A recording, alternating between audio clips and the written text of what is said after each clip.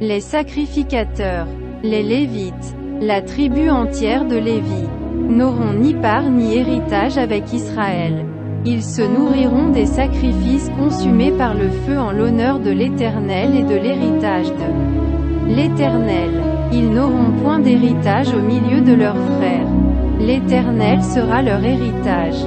Comme il le leur a dit. Voici quel sera le droit des sacrificateurs sur le peuple sur ceux qui offriront un sacrifice, un bœuf ou un agneau. On donnera au sacrificateur l'épaule, les mâchoires et l'estomac.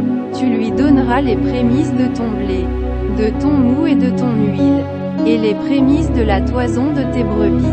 Car c'est lui que l'Éternel, ton Dieu, a choisi entre toutes les tribus, pour qu'il fasse le service au nom de l'Éternel, lui et ses fils à toujours, lorsque le Lévite quittera l'une de tes portes, le lieu quelconque où il demeure en Israël, pour se rendre, selon la plénitude de son désir, au lieu que choisira l'Éternel, et qu'il fera le service au nom de l'Éternel, ton Dieu, comme tous ses frères les Lévites qui se tiennent là devant l'Éternel. Il recevra pour sa nourriture une portion égale à la leur, et jouira, en outre, de son patrimoine.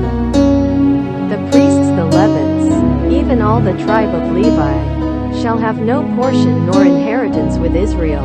They shall eat the offerings of the Lord made by fire, and his inheritance, and they shall have no inheritance among their brethren. The Lord is their inheritance, as he hath spoken unto them.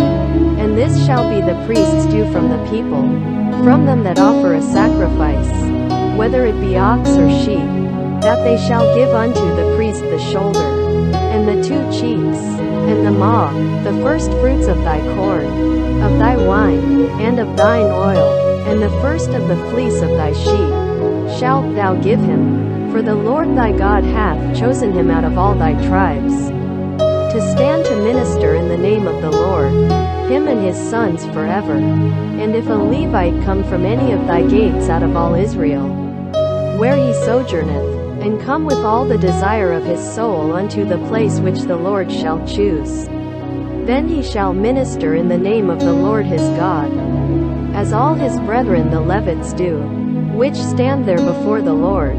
They shall have like portions to eat, beside that which cometh of the sale of his patrimony.